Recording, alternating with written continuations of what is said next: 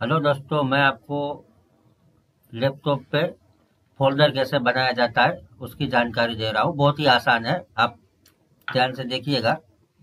आप सबसे पहले स्टॉप पे जाइए। आप राइट क्लिक करें।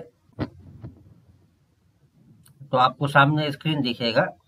उस पर आप न्यू पे जाए। और न्यू पे जाएँगे तो उसके बाद में आपको दूसरा स्क्रीन खुलेगा। उस स्क्रीन पे फोल्डर ऊपर लिखा हुआ है।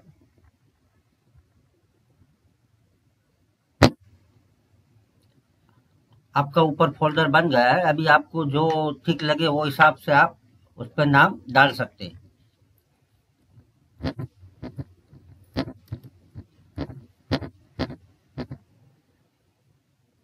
एंटर दबाए। का फोल्डर तैयार है। धन्यवाद। जय भारत। जय हिंद।